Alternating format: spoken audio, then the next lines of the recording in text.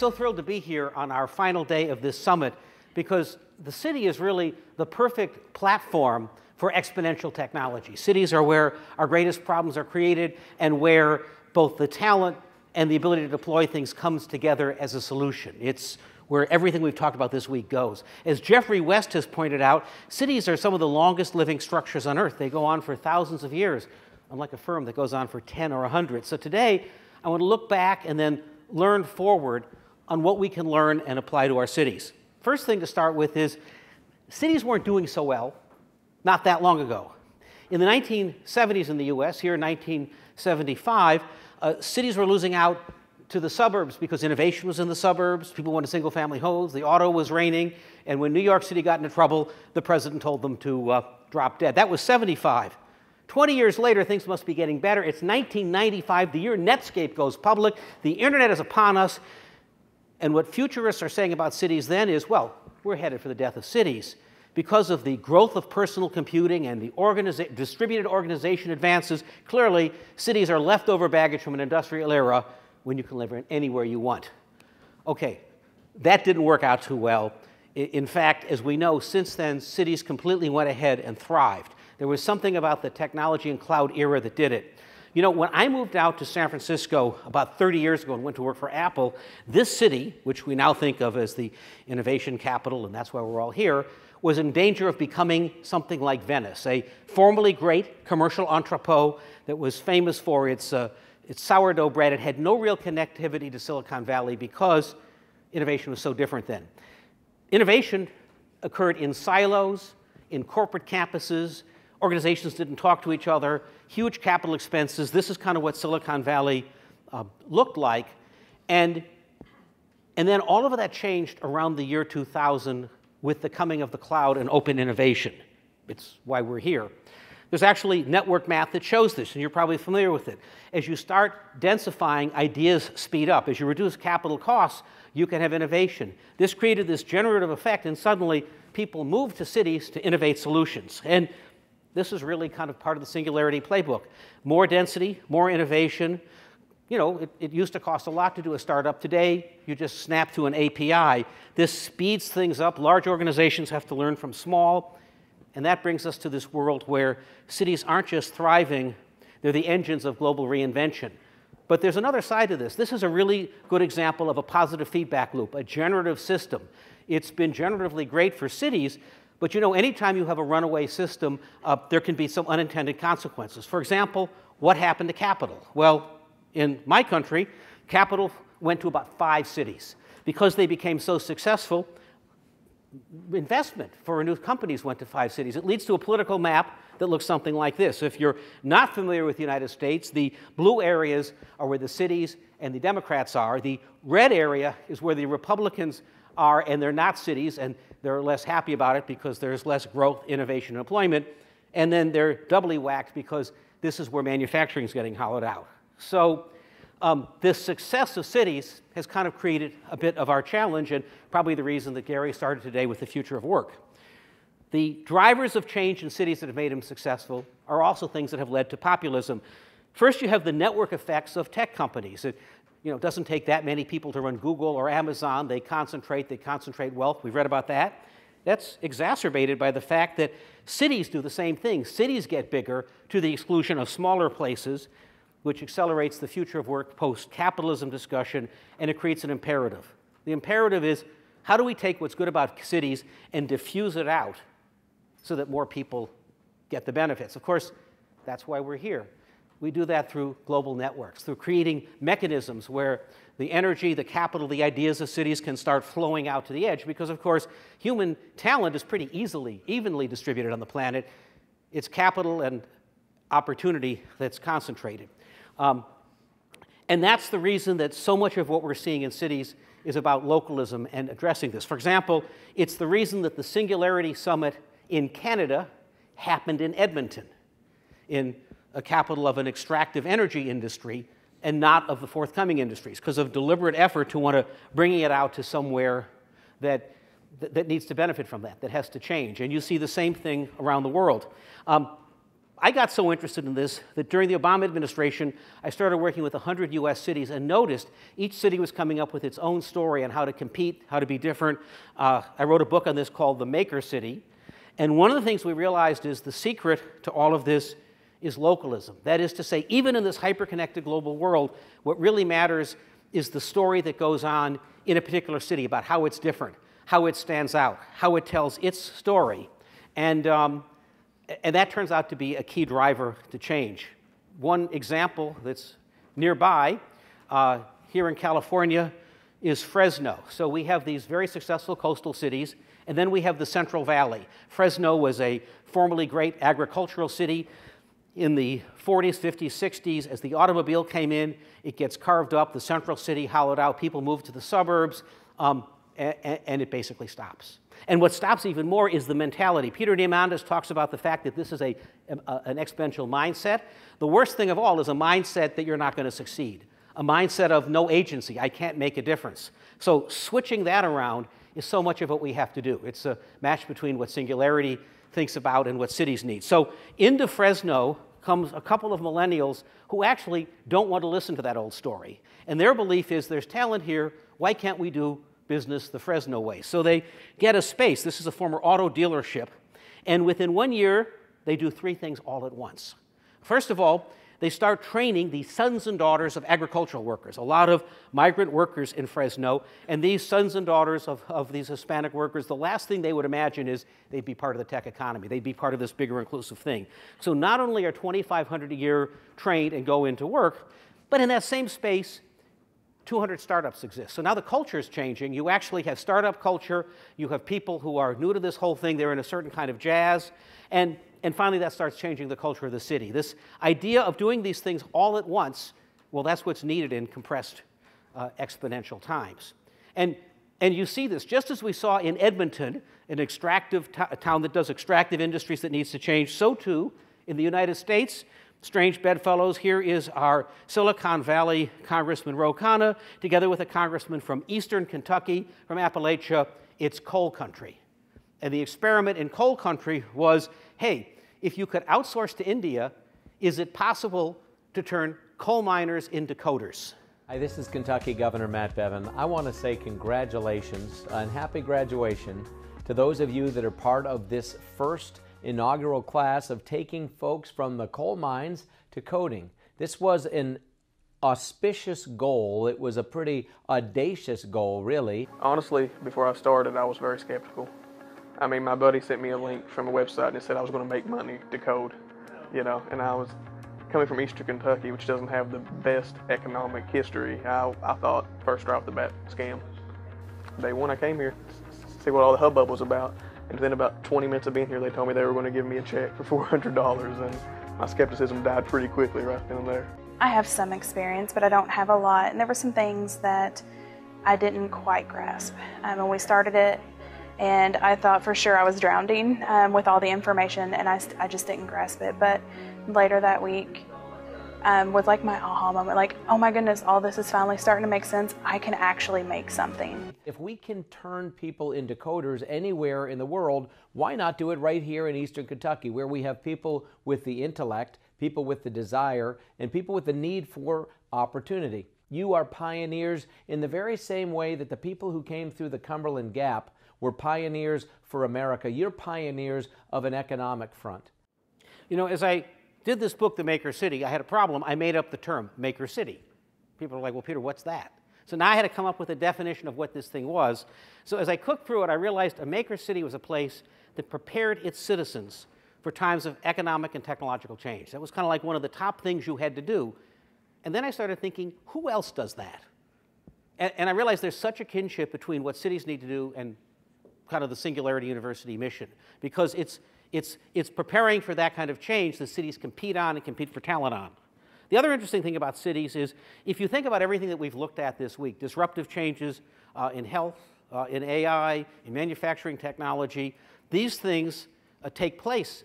They exist in cities, and cities are generally the places that come up with the problems that we have to solve. In fact, the narrative of city sounds a lot like the narrative that Peter Diamandis uses, which is we all think linearly, so we can't imagine a future that isn't more of today, and then something comes along and changes it. For example, you're probably all familiar with the Great Manure Crisis of 1894. The Great Manure Crisis of 1894, in which the City of London realized that in 50 years, every street in London would be buried under nine feet of horseshit. Um, and it wasn't government that changed it, it was technology that came in orthogonally. And you're probably like saying, Peter, you made that up. But no, I went back to the source. It was The Horse World of London, published by the Religious Tract Society uh, in 1893. Uh, not only that, but the economics went underground as well. People used to get three pence a week for the horse manure, and then it went down to a farthing per week. So not only was it a health problem, but it was an economic problem. And we can laugh about this, but today, 2.3 billion people actually don't have access to toilets. And, and the fact that the way we imagine infrastructure in our world is there has, doesn't work. That is to say, populations are growing faster than the ability to keep up with them with the kind of 20th century infrastructure, so we have to look at things differently. And uh, you can see this in X Prize type behavior. For example, in, in uh, Dubai, the Mohammed bin Rashid initiative had kind of a global cities challenge, an X Prize style, style challenge, in which they asked people to build solutions that would solve infrastructure problems where, in fact, traditional things wouldn't work. And what won? What was the winner? And the winner of the Sustainable Cities Challenge. That uh, most of the underserved communities, especially in the developing economies, they lack basic facilities like uh, sanitation and uh, drinking water facilities, which basically leads to a lot of communicable diseases, and uh, hundreds of children die every day because of these communicable diseases. My name is Mayank Midha. I am the co-founder of Garv Toilets. We provide a solution for smart sanitation in the urban slum communities, underserved areas. You're thinking, okay, Peter, you're, you're, you're very excited that a toilet won, but why? Here's four things that happen. It turns human refuse into fuel and fertilizer, creates a market for it, so it actually creates value for it. They're getting ahead of what London did. Uh, they then put a network of people together locally to make money on that, and it actually collects public health information. And okay, now you're thinking, okay, enough with the toilets already, but I'm not the only guy who gets excited about that. There's Bill Gates, uh, who actually had a similar challenge on this. And the point of this isn't just toilets. It's if you can imagine sanitation without sewers, you can start imagining solving big problems in completely new ways.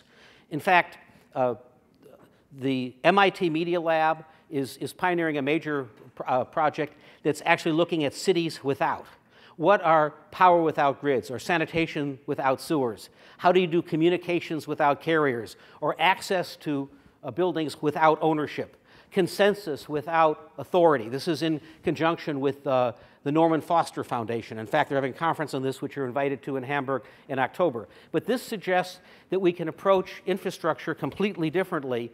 Uh, it's the application of exponential technologies. And there are a number of ways this happens. Uh, we've heard a lot about food without soil here. Uh, cows are a particularly inefficient uh, factory for food, and we need to get food closer to our cities. And so, uh, one of the key things we're looking at now is, is urban agriculture. We see a series of startups there. And this is true in many places. Uh, Puerto Rico, in the United States, in some level, is our lab for resilience. When resilient problems hit North America, the United States, they show up there first, whether it's hurricane or in this case, food security. Puerto Rico, a lush island, has a two week food supply.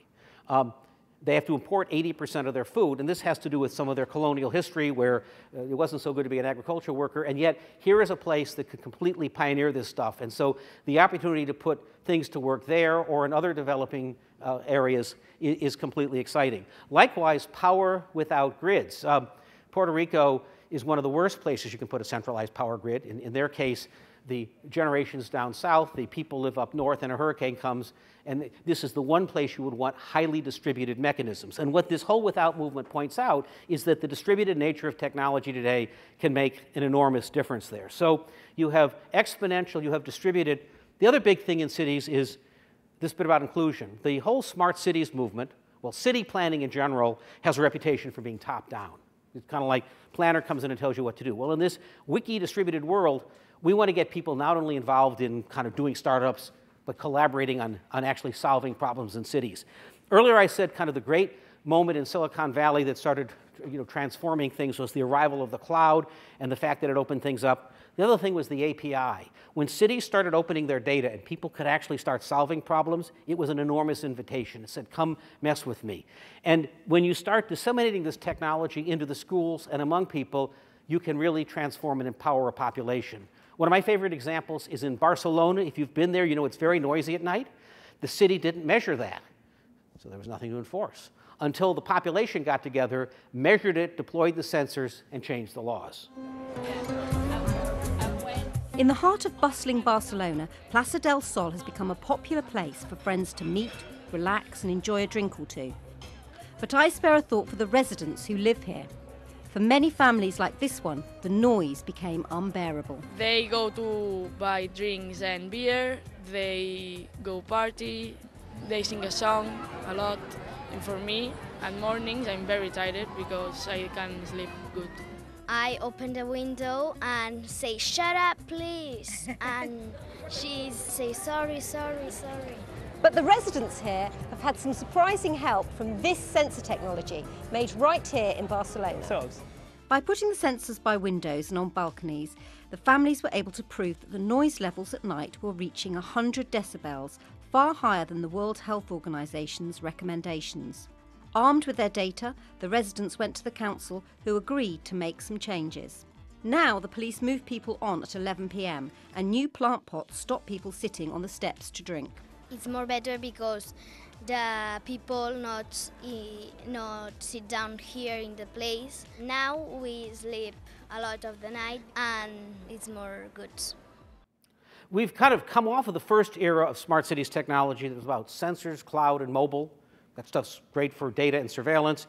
We're now moving on to distributed infrastructure and the application of intelligence and AI to things. That's important because uh, we have to do a lot of things smarter. The world's adding about 3,600 buildings a day. China's adding a London a year for the next 32 years.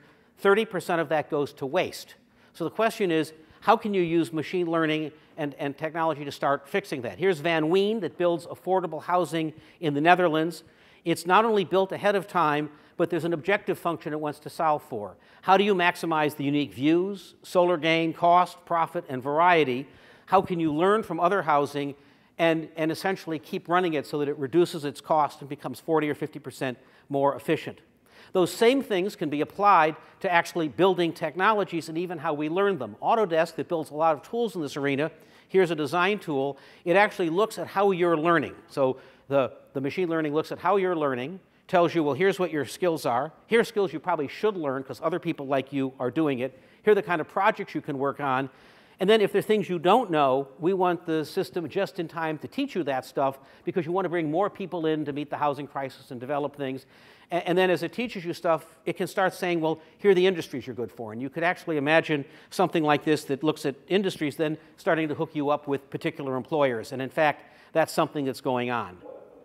Um, this same technology can also make the interior of buildings more responsive. This is Autodesk's Mars Innovation Center in Toronto. It measures how well people are collaborating, uh, interactions. Uh, the same technology can apply to a neonatal unit. If it's not performing, how does a building write an RFP to become more efficient?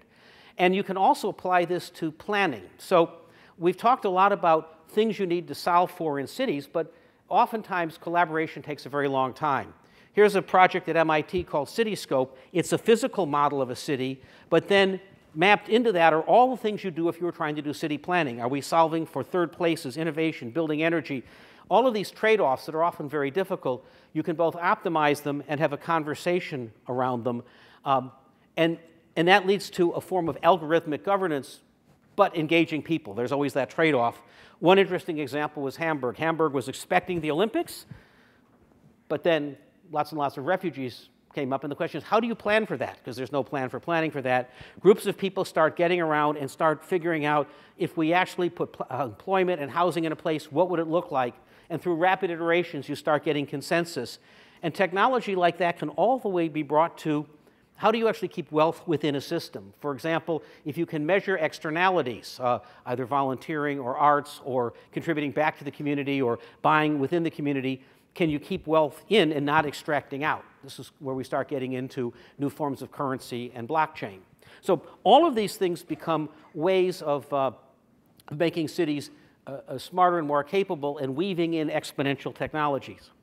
But there's one more thing I'd like to, uh, to end up on, which is the role of the arts in all of this.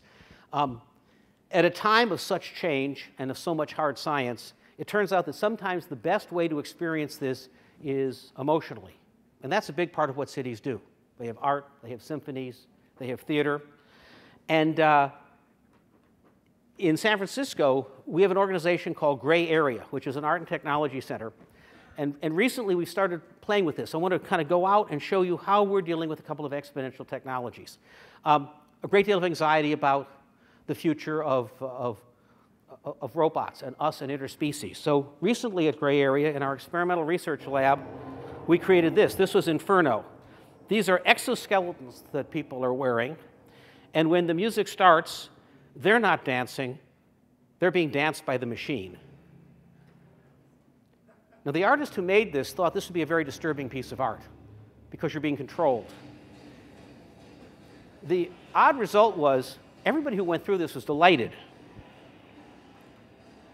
There was almost a, a sereneness, a flow in interacting with some other te technology, some other species people had never encountered the species before, and, and there was a great deal of delight. And you know, you're actually thinking through am I submitting to machines? How do I interact with it? But an experience like this was an amazing way to both introduce people to the technology and for an art project to work through what is the dialogue between us and robots and how can culture help? Here's another example. This is 11 Play, it's a dance group the women are all outfitted with sensors.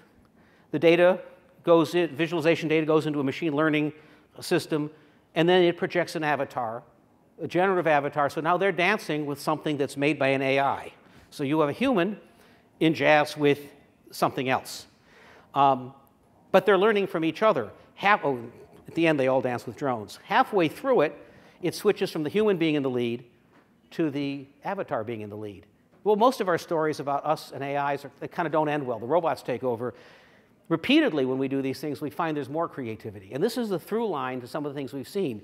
Autodesk, with its technology that's training you, you actually get more creative. The human finds out what he's good at, where his judgment fits in.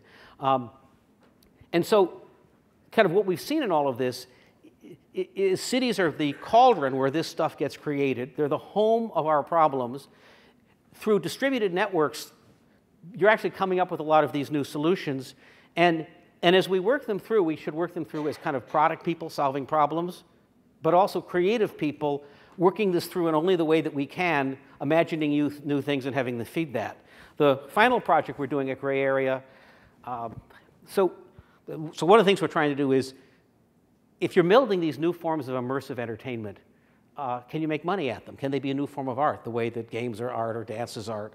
And so we funded a whole bunch of people to go off and work on something. We thought we'd have them do stuff around, uh, uh, around privacy or dystopian issues, but everybody came back and said, we want to build immersive art about the future of our cities, about reworlding, about the system nature of the earth. So that's what folks are working on now. Combination of the arts and innovation to take a look at where our cities are going. Um, this is just a taste of why cities, I think, are the platform for so much of what we're working on here, and why the purpose of a city is to prepare people for change, and why there's such an interesting match between what Singularity is doing in a bunch of cities, all of whom are attempting these things, and this great yearning that all of you have to be in a network connected up, because that's actually the great work of putting creativity to work right now. That's why I call this looking back, taking a look at where we've been cities, but learning forward, because there's this tight connection between exponentialism and, and problem solving, and you guys are right in the middle of it. Thank you.